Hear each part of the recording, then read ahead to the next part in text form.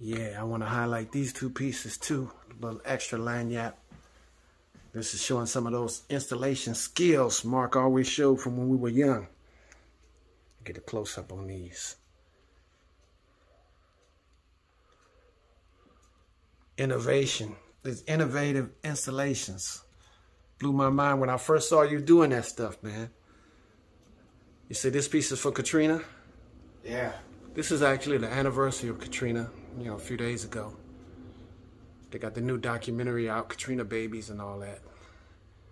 I'll look for it. It's gonna be on Netscape or Netflix. It's on the uh, HBO. HBO. It's on be HBO. But I'm sure that. I mean, there's so much here in this So that's made from garbage.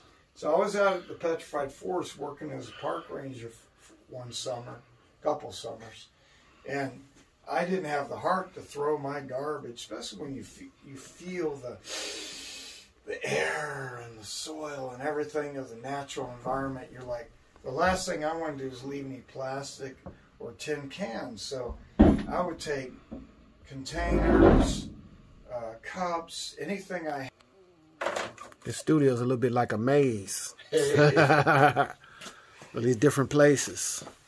Yeah, well, they're like stations. I think of it like Montessori, right? hmm Like the kids go to different stations. Like that's the vault. Got the there. print and press. Get this in here. This might be still a little wet. That was the thing I had to do for uh, Ukraine. It was, you know, I get aggravated watching the news. So this is cathartic when I can get something out. Although it's been rejected for two shows already. I don't know why nobody wants to touch it. Don't worry about it. It's going to find its place. Yeah, well, even if it doesn't, I got it out of my system. hmm On to the next thing. But see, it becomes a problem.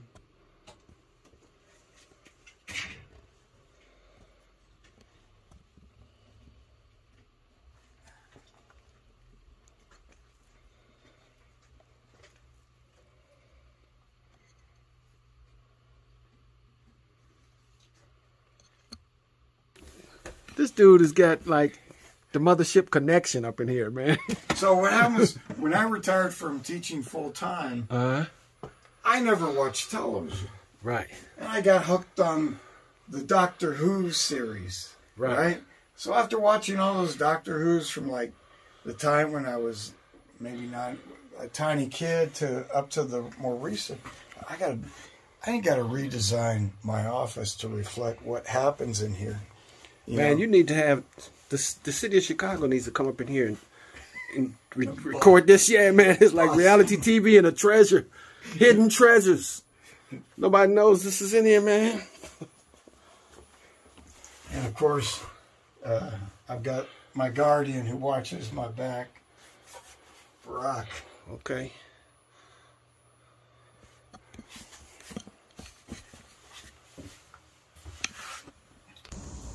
Finally, yeah. What's going on with the hand right here? Yeah.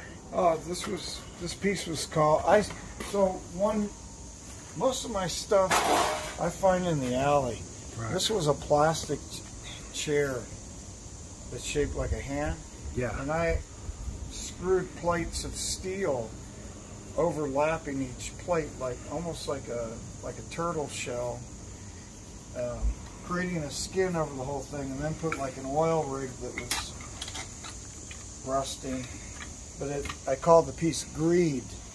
So the the giant hand represents the uh, you know the fossil fuel industry and and their greed for uh, drilling as kind of a I don't know David and Goliath thing, but their days are numbered. It's just the way it goes, you know.